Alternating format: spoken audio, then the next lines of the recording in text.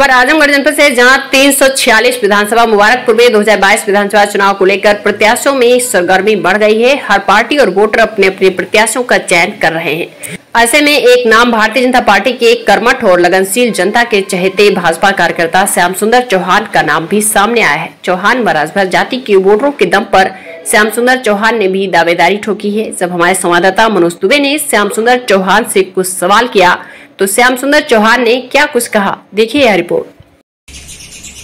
नमस्कार, आप देख रहे हैं नेशनल खबर नाइन और मैं हूँ आपके साथ मनोज दुबे। इस समय मैं श्याम सुंदर चौहान जी के आवास पे हूँ और वो जो है अपनी दावेदारी मुबारकपुर विधानसभा से किए हुए हैं।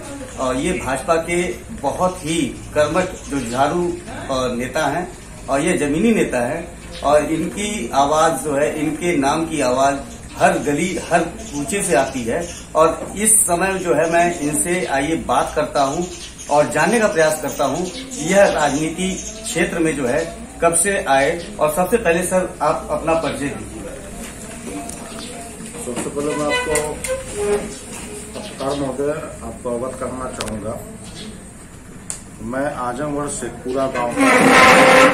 मेरा जन्मस्थली, कर्मस्थली आजमगढ़ से पूरा रहा है। मेरी शिक्षा दीक्षा आरएसएस द्वारा संचालित सरस्वती शिशु मंदिर और सरस्वती विद्या मंदिर से कक्षा अष्टम तक हुई है। उसके बाद मैं ग्रेजुएशन किया पीजी किया। सर ये राजनीति में जो है आपको कब से ऐसा लगा कि हमको राजनीति में आना चाहिए और यह समाज सेवा करना चाहिए? देखिए राजनीति की बात अगर आप उससे पूछ रहे हैं तो मुझे लगभग याद है कि 1985 के दौरान मेरे पिताजी आरएसएस से जुटे थे।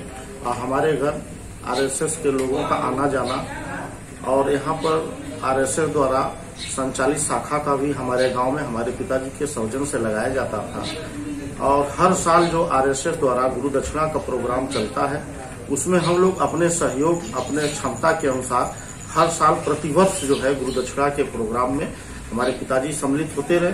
मेरी जो राजनीतिक सोच हुई, राजनीतिक जो सामाजिक सोच हुई, मैं अपने पिताजी से प्रभावित हुआ। मेरे पिताजी सोशल रहे। उनको देखते हुए मैं भारतीय जनता पार्टी 2011 में लखनऊ भाजपा कार्यालय में सदस्यता ग्रहण किया। उस समय तत्कालीन प्रदेश अध्यक्ष भारतीय जनता पार्टी के माननीय सूर्य प्रताप शाही थे।